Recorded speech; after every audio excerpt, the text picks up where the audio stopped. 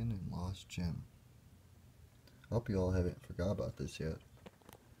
Uh, this is the reason why I love to make video gameplays for you all on the YouTube series, you know, it makes it more fun for the gameplays because every time I, at first I had planned where basically if I beat, um, I was playing like if I beat each five bosses, I would have added a new image on there. Like, I guess I would have gone with, like, even not the main characters from the game or logos, but like the bosses in them or imagery, like uh, coins they collect and stuff like that.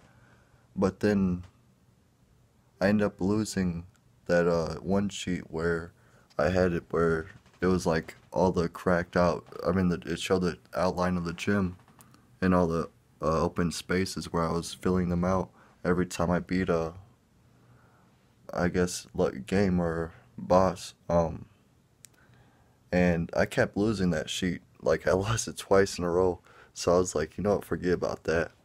But um, I still wanted to keep up with this idea, the broken lost gem, because I feel like when this when this series is done, we're gonna have a really awesome art project here, like a really good one my idea is um, I'm, I'm gonna be doing this twice so man I don't even have large paper anymore.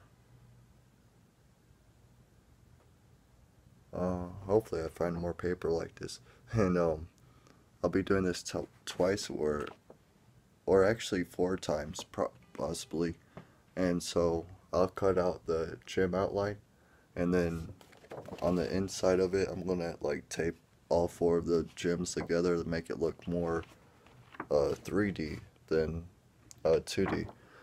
I mean, the artwork still gonna be 2D, but the gym itself, it's gonna look like the, it's gonna look like a chandelier basically. That's my idea for it, with a bunch of video game artwork on it. I think it's gonna look awesome. And I mean, look, this is what we added recently that you all haven't seen yet. Last time you saw the Dead Island and the SpongeBob added. And of course you all seen the Galaga added when this was first created. But um, this is a new part right here. Since I beat a Crash Bandicoot and Beach Buggy Racing, I put Crash Bandicoot. Of course I didn't beat the game. Um, what's it called? Crash. What's that Crash? Crash Bandit. Crash CRT. I think it's called with the Crash Bandicoot Racing. But then if you look here on the cart, I put a Ben 10 logo. so basically, since we beat the Crash Bandicoot game, Beach Buggy Racing, and Ben 10, that's an awesome one right there. It's like a triple right there. And then we beat the Tetris game, so I put the Tetris logo there at the bottom. And yeah, so that's why I added to it so far.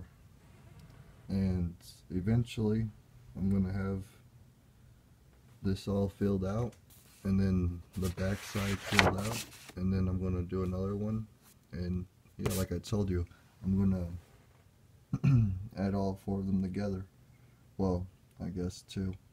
No wait. Four yeah. And then we'll have an awesome art project. The broken lost gem